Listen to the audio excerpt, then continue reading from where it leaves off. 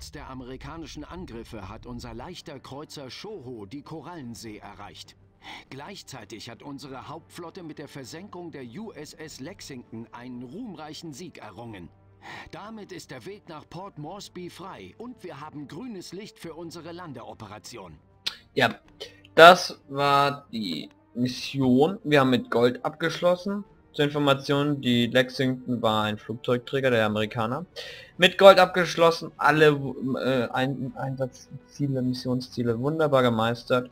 Und sogar noch ein Kreuzabzeichen abgestaut und zwar zerstören sie in einem Spiel mit Kreuzern 15 feindliche Einheiten.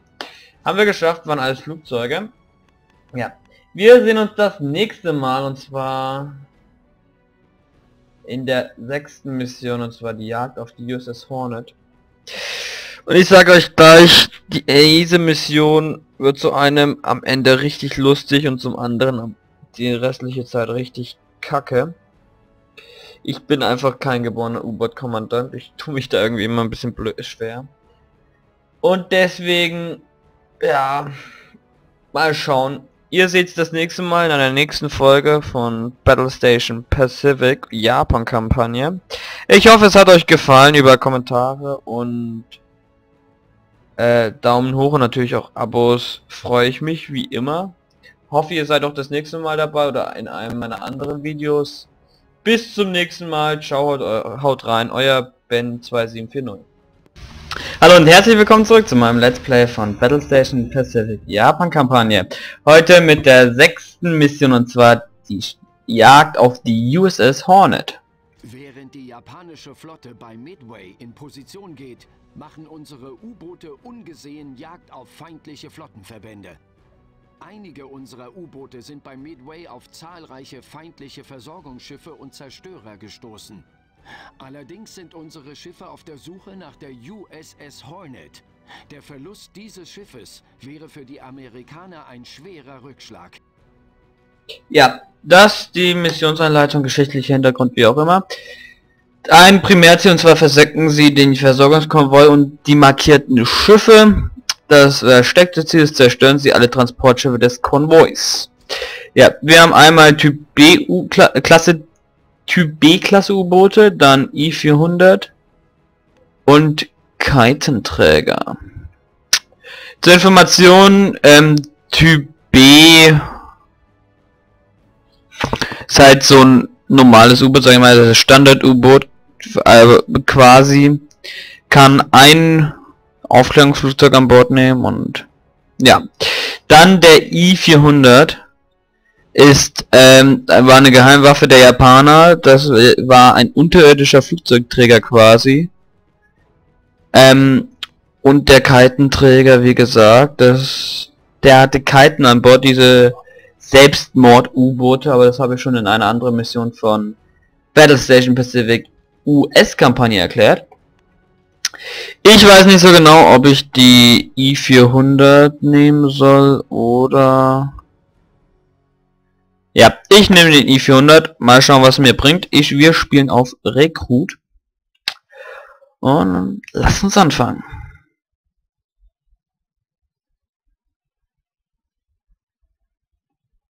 wenn es mal geladen hätte.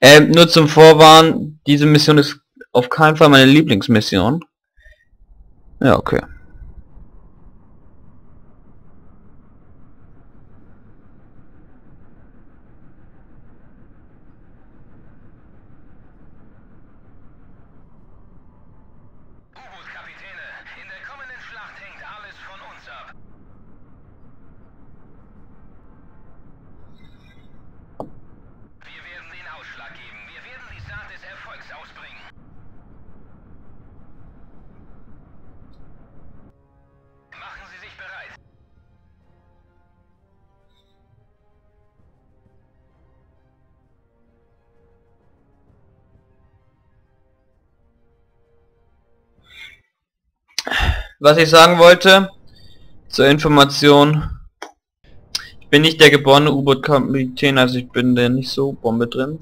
Und was ich bei den Japanern extrem hasse, keines ihrer U-Boote hat Hecktorpedos. Und ohne Hecktorpedos komme ich so überhaupt nicht klar mit den Dingern. Also, das ist ja echt, ähm, Hecktorpedos sind existenziell, sagen wir mal. Und später wird es auch eine Mission geben, vor der habe ich jetzt schon Angst. Ganz ehrlich, das letzte Mal, als ich sie gespielt habe, habe ich vier oder fünf Tage dran gehockt, weil ich immer so aggressiv wurde. Äh, das seht ihr alles noch später, aber das ist so nervig. Äh, habe ich echt hunderte Versuche gebraucht, das war schlimm. Ja, wir sind nicht allein unterwegs, wir haben unsere Schwester-U-Boote I-402 und I-403 dabei. Wir sind an Bord von I-401, auch wenn hier I-400 steht. Ähm, I-400 war halt die U-Boot-Klasse. Diese äh, Unterwasserflugzeugträger. Und die übliche Taktik hier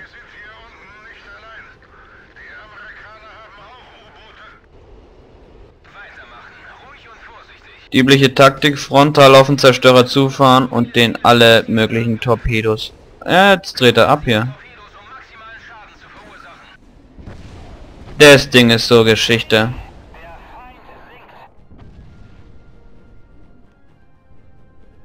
Da hinten kommt schon die Todd.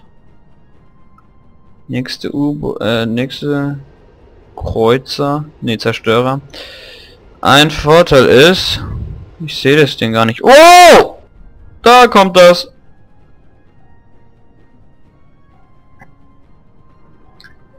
Und das ist ein Grund, warum ich es hasse, Connect-Torpedos zu haben. Der kreuzt jetzt direkt über mir, wirft ein paar Bomben. Und mit Heck-Torpedos könnte ich ihn jetzt noch schön welche reinjagen, aber nein.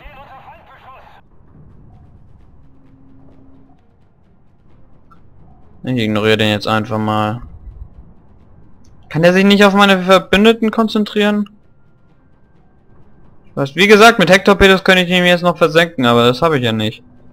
Und das hasse ich echt wie die Pest. Und bis man sich mit so einem U-Boot gedreht hat, das dauert Jahrzehnte. So. Äh, was noch ist, hier die Nashville-Klasse. Ich habe leider keine Ahnung, wie man Unterwasser-Torpedos ähm, abfeuert. U-Boot-Befehle, allgemeine U-Boot-Befehle. Feuer, Feuer. Ähm, hätte ich vielleicht vorher mal durchschauen sollen. Flugzeugwaffen, Schiffswaffen. Torpedo. Wenn Sie mit drei Ihre Torpedos ausfahren, Sie diese mit einer hm. Ja, Wahnsinn unter Wasser. Schuss gibt's hier gar nicht. Naja. Da muss ich dann auf später warten. Und hier, der feuert schon gleich Torpedos auf mich, die Sau. Wieder eins hoch. Der liegt immer noch da hinten. Jetzt macht er sich wieder auf den Weg. Hier, meine Verbündeten streuen da schon schön Torpedos aus. Und zerstören die da alle. Ich sehe schon wieder ähm, der Zerstörer Kurs auf mich nimmt, den ignoriere ich jetzt einfach mal.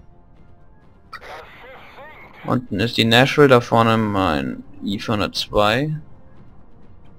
Ich könnte ihn auch tot haben, aber ich weiß, äh, früher oder später taucht die Nashville-Klasse auf. Und dann habe ich leichtes Spiel.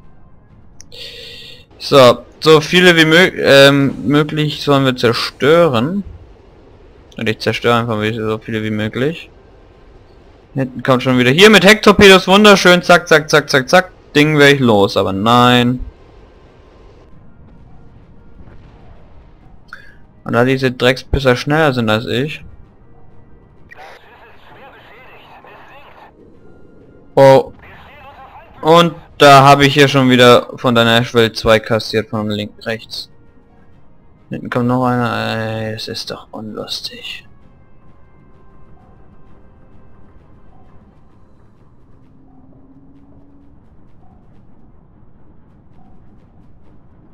Äh, mach doch da mal. Ich bin gleich tot, ey. Ich will jetzt hier nicht schon zerstört werden. Ach du Scheiße. Der wird gleich Wasserbomben und dann bin ich tot. Mama, ich will noch nicht sterben.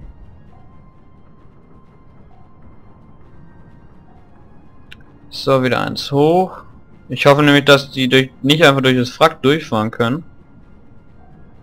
Ich kann hier, hier noch ein paar Dinger zerstören. Hier ist mein, mein Missionsziel, aber ich konzentriere mich da erstmal generell auf die anderen. Ach du Scheiße. Ah nee, ah, war nur ein AK.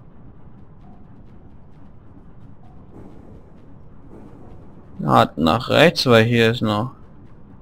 Mein primäres Ziel war die gleiche Ramme. Du Scheiße. Wie gesagt, wahrscheinlich wird es das nicht so eine Freude mit zuzugucken. Tut mir leid, aber...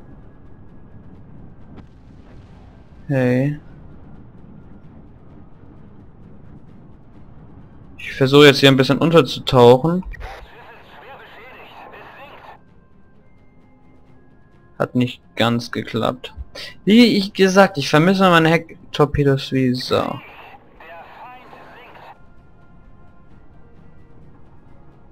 Weil ich bin einfach so viel langsamer im Drehen, also die Zerstörer sind so viel schneller. Da ich halt, wenn der mal über mir ist und der sich geschickt anstellt, habe ich echt keine Chance und dann sterbe ich einfach. Ähm, Nashville, gegen die kann ich erst was tun, wenn sie auftaucht. Sind kacke gelöst, dass ich keine Unterwasser-Torpedos abschießen kann. Drehen hier, drehen, drehen, drehen, drehen, drehen. Fuck man, dreh doch! Ach du Scheiße.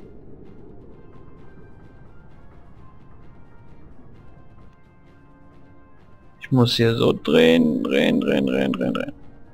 Fuck, jetzt manövriert die mich aus hier. Guck dir das an, ey.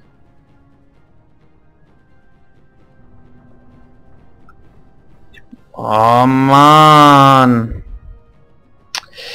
Wie gesagt, U-Boot ist nicht so meins und ich hasse japanische U-Boote, vor allem amerikanische geht. Schön Hecktorpedos, Standardtaktik. Die Gegner ausschwanzen. Der dreht jetzt auch und hier, ich brauche ewig.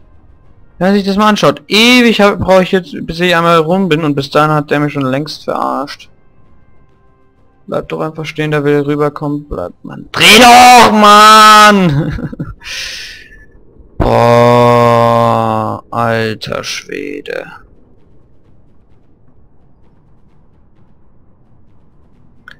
Dreh doch um. Hey, vielleicht wird es sie mit einem eigenen Torpedo, das wäre lustig.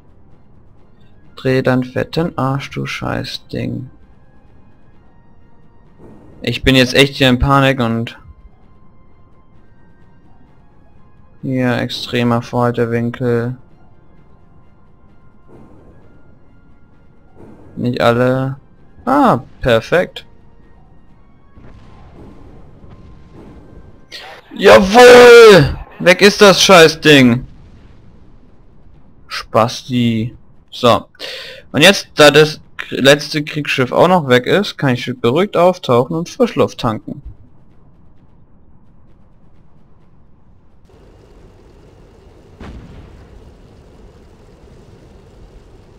Jo, wir haben auch ein Lazarettschiff zerlegt. Erkennt man hier. Eigentlich sind die... Äh, darf man die nicht zerstören. Weil das eigentlich nur Krankentransporte... Damit eigentlich nur Kranken, Kranke transportiert werden dürfen. Ich kann aber was gegen die Nashville-Klasse machen. Und zwar hier, nämlich hier ein Flugzeug statt. Was?